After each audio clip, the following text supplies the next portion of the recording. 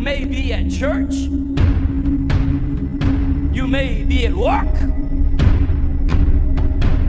you may be asleep. God grant that you will be ready when He makes His personal appearance. My God, what if His appearance occurs on a Sunday morning? My prophetic word to you this morning is get ready! Get ready!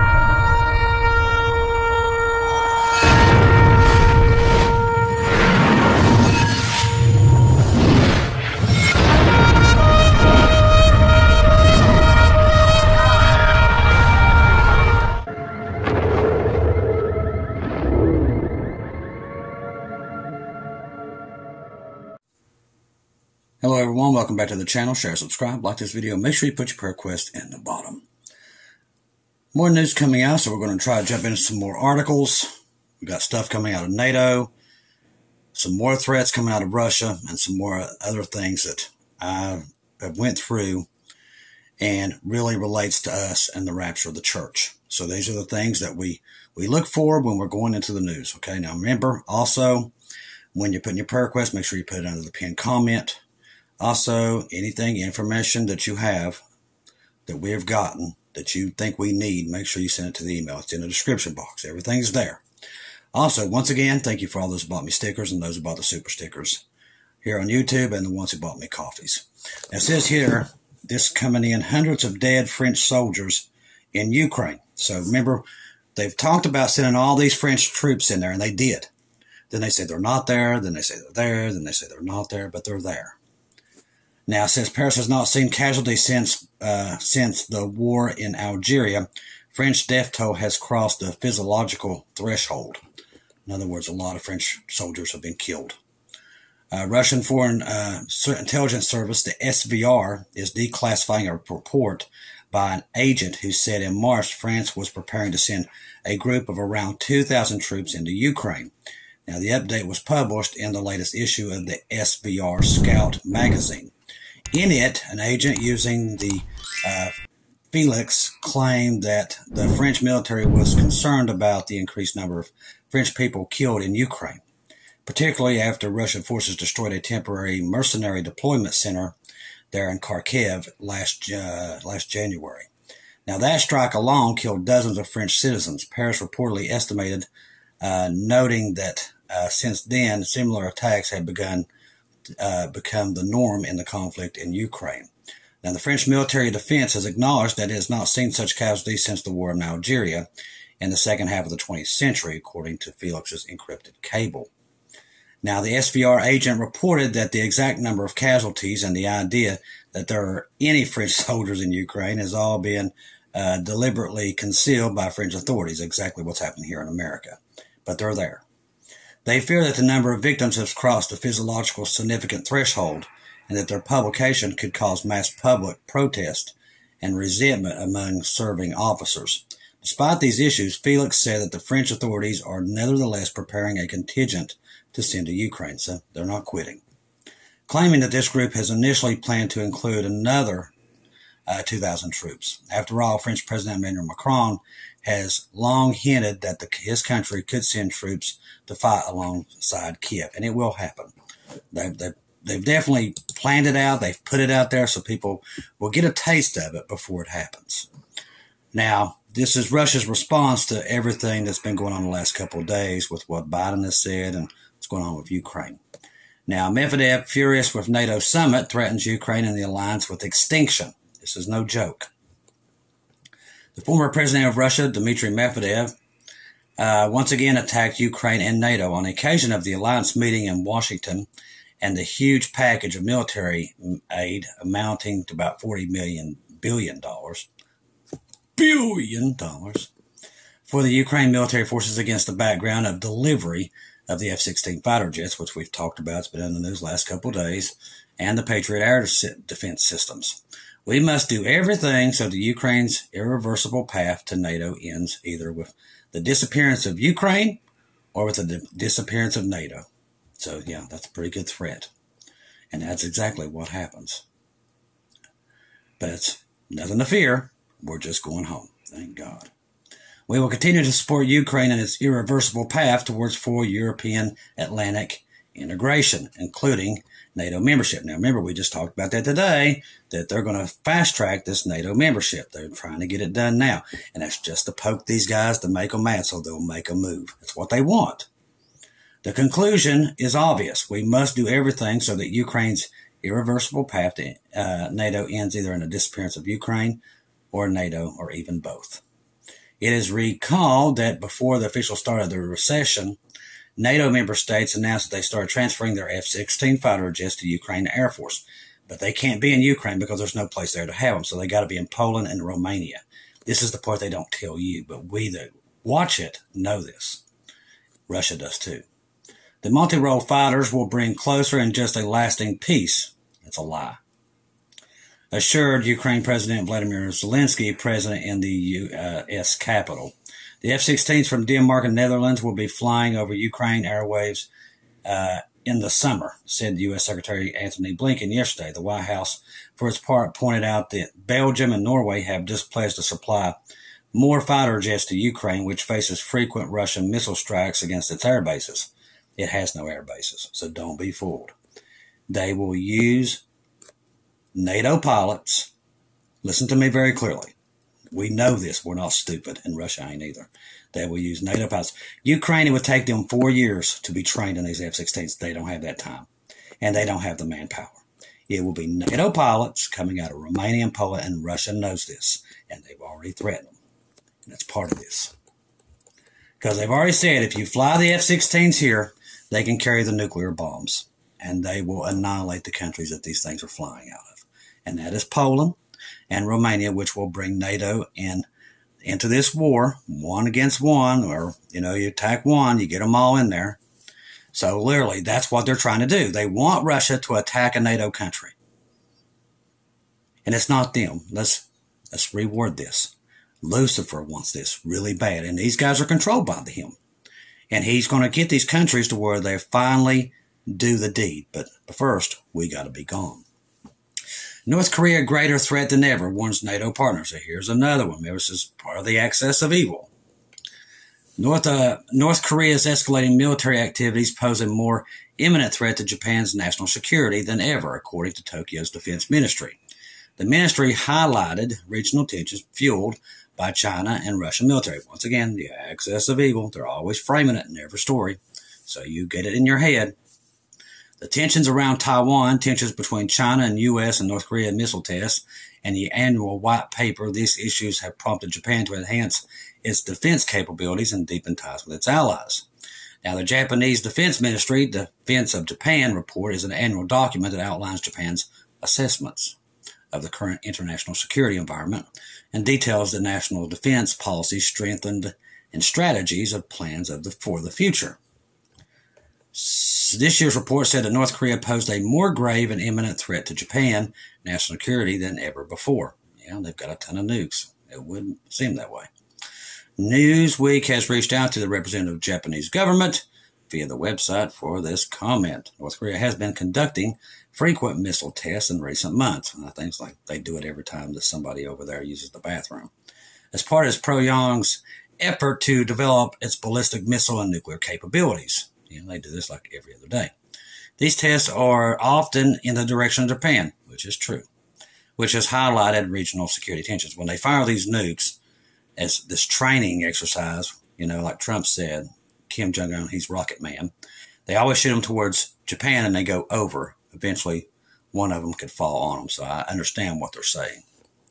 Newsweek has reached out to the representative of the North Korea government. Good luck with that. You might as well call Santa Claus and get it, probably get an answer first. China and Russia also have intensified their military activities around Japan, using ships, aircraft in the region. These actions have perceived as a strategic de- uh, demonstration of force by Japan. Go, go, go, Godzilla. Japan's defense ministry has expressed grave concern over China and Russia's joint military activities around Japan, describing the deliberate demonstrations of force. Wait for the Mothra comes.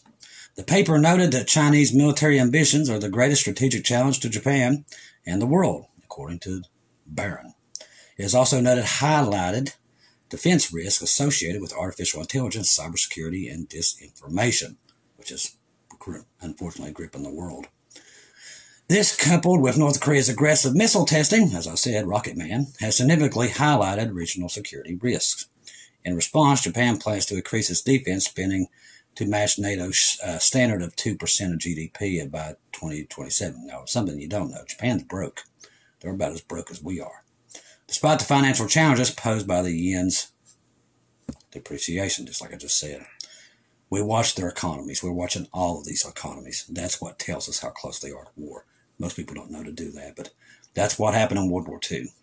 It's happening just like it is now. People's economies are on the brink of disaster, and that's when you go to war. According to the Barron, Beijing has said it is strongly dissatisfied and resolutely, res, resolutely opposed to the claims in uh, the Defense of Japan report. Of course, China disagrees with everything unless it comes out of their mouths. A foreign ministry spokesperson told Barron that the latest version of Japan's defense white paper seriously interferes in China's internal affairs. Everything bothers China. Plays the same old tune, hypes up the so-called Chinese threat, which it is. China poses a threat to the world. That's just the truth. Not the Chinese people, but their government. Japan continues to develop ties with the other countries in the region, including Australia and South Korea. On Monday, Japan signed a defense pact with the Philippines to allow development of troops to each other's territory, according to the Defense Post. So, once again, we're talking about the axis of evil, and they're framing that with everything that we're seeing. Now, it says here, let's see, well, we kind of went into that. This one's probably a little bit the same with Dimitri.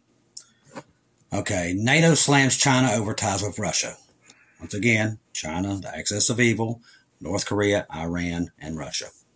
Beijing has dismantled the military's bloc claim that it's shoring up Moscow's defense industry uh, is provocative lies, which is not. They're definitely doing it. As I said, China's government lies about everything. NATO has accused China of being a decisive enabler of Russia's military campaign against Ukraine, and they are, prompting an angry rebuke from Beijing over the U.S. led military bloc's Cold War mentality. Now, China and Russia has characterized their relations as no limit par- partnership, which has been strengthened since the West imposed sweeping sanctions on Moscow following the outbreak of Ukraine's conflict. Uh, during a visit by Russian President Vladimir Putin to Beijing in May, he and the Chinese counterpart, Xi, Xi, proclaimed a new area of the nation's strategic ties. Now, NATO members hit out uh, uh, at relations between Beijing and Moscow in a declaration issued in the Bloc 75th Anniversary Summit in Washington, D.C. on Wednesday, claiming that China continues to challenge its resources, securities, and values.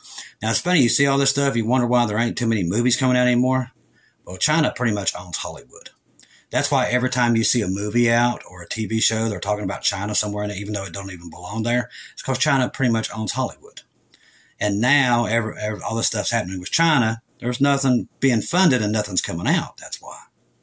They pretty much took over Hollywood. Every movie that was coming out for years had to have something about China. And even though it didn't even fit, it was there.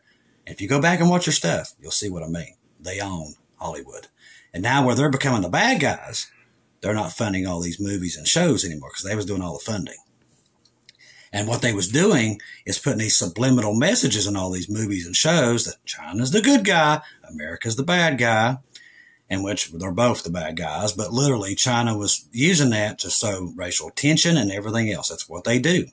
So does Russia. All these countries do it, and America does it too.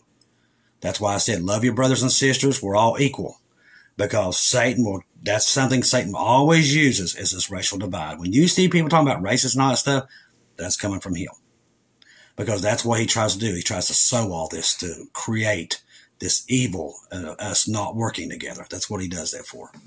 The deepening strategic partnership between Russia and the PRC and their mutually reinforcing attempts to undercut and reshape the rules based international order are a cause of profound concern, added the document, which has signed the heads of state of the governments of NATO members. Now, the U.S. military bloc uh, further accuses China of shoring up Russia's defense industry by transferring dual use materials and components, as well as engaging in malicious cyber and hybrid activities. That is true, which all these countries are doing. Responding to the allegations on Thursday, a spokesman for the Chinese mission in the EU described them as a provocative and obvious liar and smear, as Beijing has said, which, like I said, China says everything's lies, which a little part of that's true. Everything we see pretty much is. The mission re, uh, uh, iterated that China is not the creator of the Ukraine crisis and insists that Beijing is seeking to promote peace talks. That's a that's a definitely a lie. China never provides lethal weapons to either party of the conflict. That's also a lie too. Strict export control of dual use goods, the spokesperson said. NATO has been fanning the flames of the Ukraine conflict and the uh, scavenging others, they added. Beijing also warned NATO from expanding into the Asia Pacific.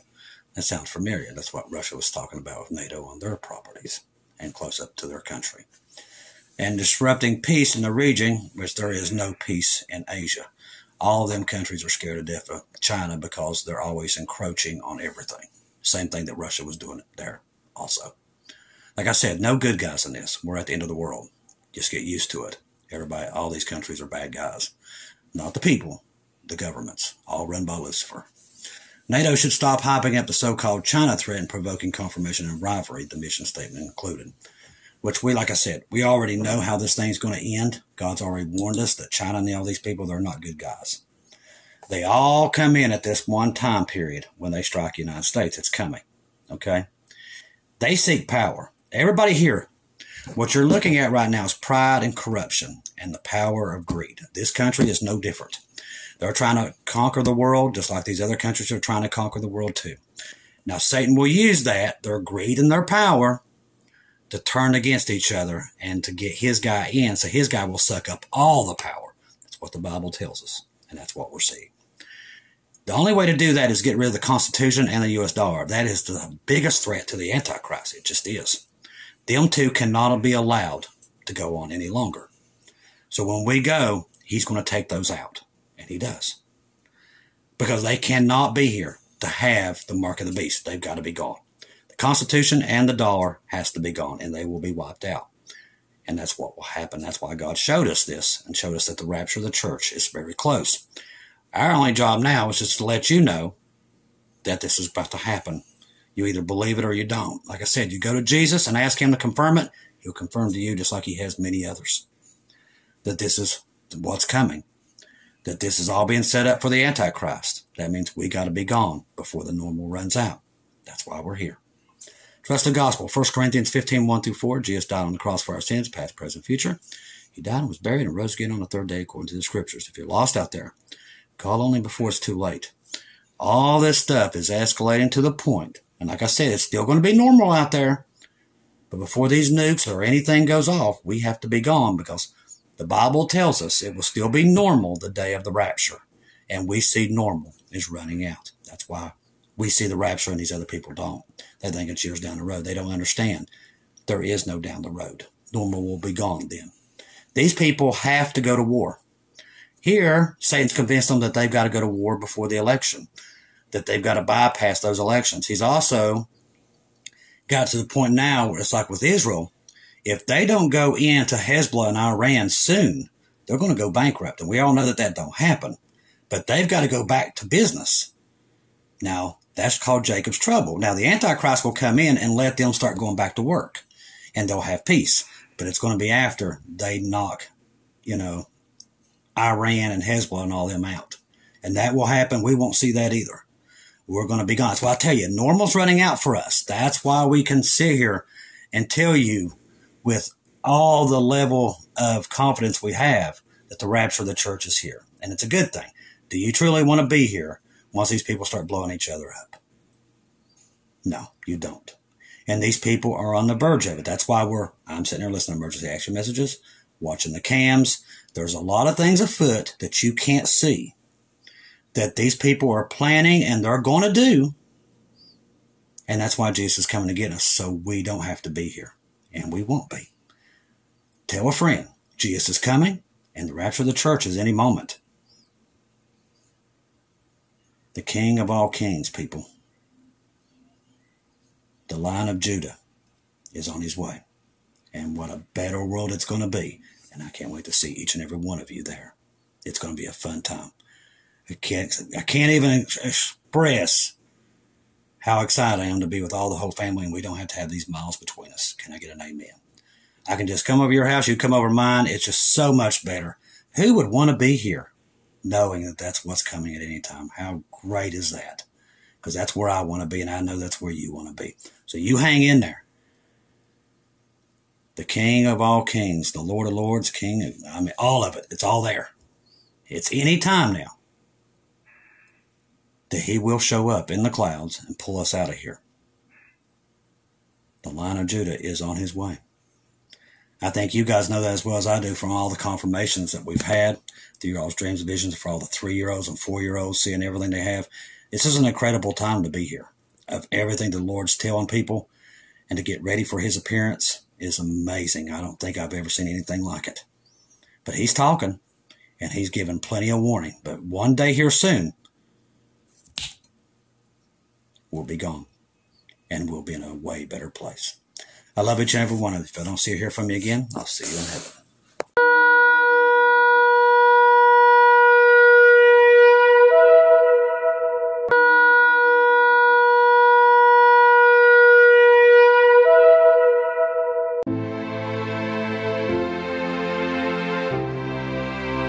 Thank you once again for tuning in to Global Rapture Watchers, where we do daily updates here on YouTube letting you know that we're one day closer to our Lord and Savior coming back.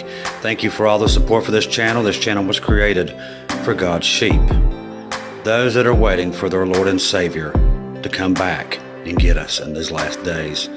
We do updates once to two times a day here on YouTube. Thank you for all your support for the channel. God bless each and every one of you.